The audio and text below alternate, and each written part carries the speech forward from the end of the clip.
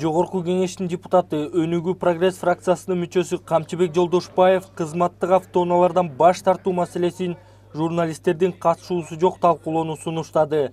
Мындай пикирин ал биринчи февралда парламенттеги жалпы жыйында айтып депутаттар жана алардын жардамчылары маршруттук кичи автобустарда жүргөнүнө жумушка жөө каттап жатканына уяларын билдирди себеби ушу келатсаң могу жерден уялам мен чынын айткандачы э, кээ бир э, депутат кыздарыбыз келиндерибиз балдарыбыз жанакы маршруткадан түшүп анан мындай жөө басып келет да анан шапкамды былдый басып көрүнбөй мен басып машина менен кирем ушуну бир карап көрүп э, дастан арсызбекович карап көрсөңүз бир прессасы жок өзүнчө отуруп бир сүйлөшүп алсак себеби ошол эле берген машиналардын баарын башкалар минип жүрөт ошол эле э, акчанын баары кетип атат.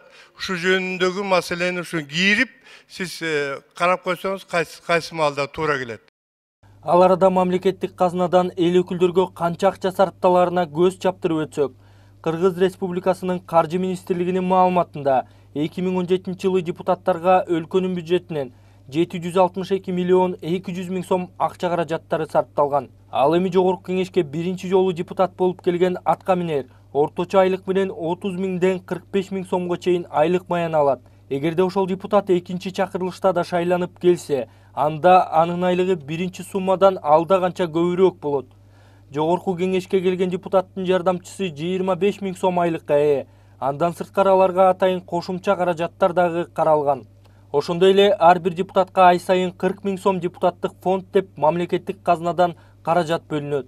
Кырк миң сомдон эл өкүлдөрү автоунааларынын күйүүчү майларына байланыш түйүнүнө жол тандабас унааларын оңдоп түзөөгө канцелярдык буюм тайымдарды сатып алууга коротушат. Жогорку кеңешке дагы бир кошумча каражат болуп камылгалар жана кызмат көрсөтүү болуп саналат.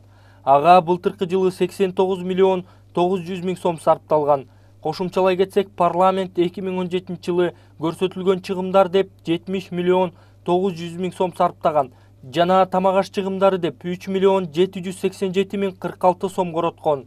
Эскерте кетсек эки миң он жетинчи жылы жогорку кеңеш кытай эл республикасынан гранттык түрдө техника алуу үчүн бир миллион сом алышкан. Ага эл өкүлдөрү бир диван отургучтарды кол кургатуу жабдык сыналгы болгарка префарааттар ширетүүчү аспаптарды электрочайник жана башка майда барат буюм тайымдарды алышкан. Азамат айтбаев азамат жумадилов атайын некс тв күндүн темасы үчүн